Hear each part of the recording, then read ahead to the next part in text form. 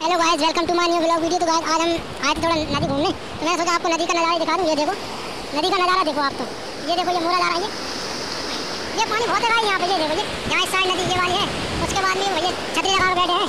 इस साइड में ये ये आंटी जी, फंटी जी, वो लड़कियाँ कुछ पूजा पाठ चल रही है यहाँ पे, ये ये वाली। उनको दिखा नहीं सकते, मैंने यहाँ था उनको दिखाने में। ठीक है ना? ये हमारी वो गाड़ी खड़ी है यहाँ पे। उनको दिखाएँगे मैंने नहीं आया होगा। लेकिन दिखाई देते हैं, ये देखो, वीडियो। ठीक है ना? इस साइड वो पानी चल रहा है यहाँ पे।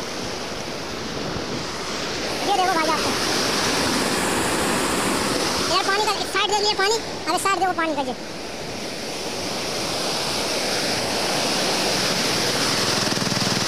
Bye bye